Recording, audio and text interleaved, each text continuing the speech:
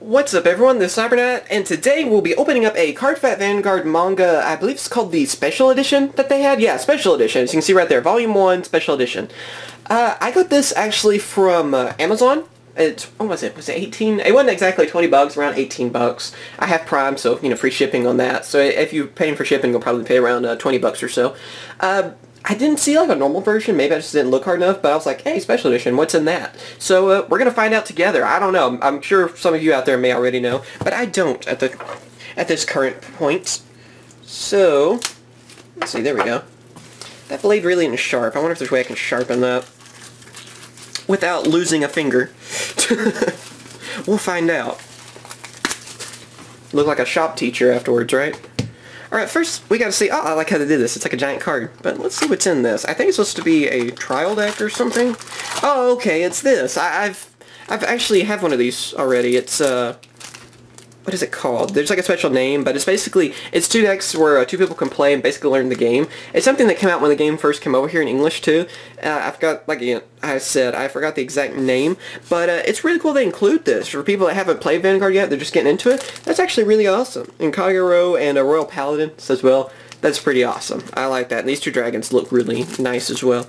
But yeah, that, that's pretty good deal. If you don't have that as well, there are some good cards in it, I believe. I don't know if they're still you know, as good as they were. But, uh, yeah.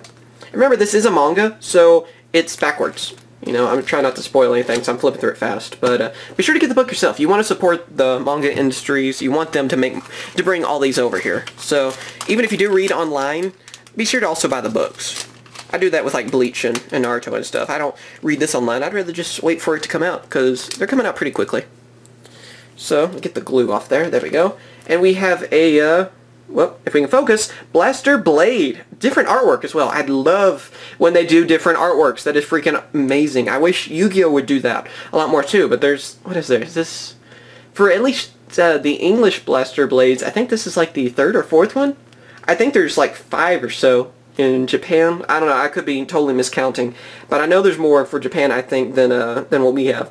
looks freaking amazing, though. I might keep it in this uh, plastic for now. Uh, but yeah, this I really think it's worth getting. Supposedly the story is different from the anime, or that's what I've heard. Uh, sort of like how the uh, the Yu-Gi-Oh mangas are like that as well, where they don't go together really, which is pretty cool. I mean, and some and some of the mangas too, I kind of like the uh, manga version better. So I don't know how I'm gonna feel about this yet. I am gonna give it a read, and uh, I think it's like in another two or three months or so, the next one comes out too. So we'll get those and do opening shows as well. Like I said though, I got these from Amazon. You can probably find them at like Barnes & Nobles. If you still have those, I think those are kind of scarce nowadays.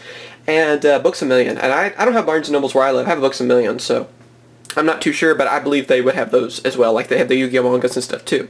But yeah, remember to support the industry by buying them. They're really awesome. And uh, get a cool promo. So I think that's worth it in itself.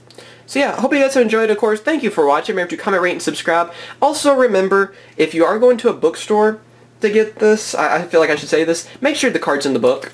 Uh, if it's plastic wrap, it should be, you know, on it. It should be safe. But make sure, because you always have to watch out for that in the Yu-Gi-Oh! mangas and stuff too, where people actually get into them and get the cards out. So always check that. That's why I usually tell people just to order either from a good store online or like Amazon or something, because then you will get the card in it. So it's always the best thing. But just make sure. I don't want anyone to get ripped off or something by going to the bookstore.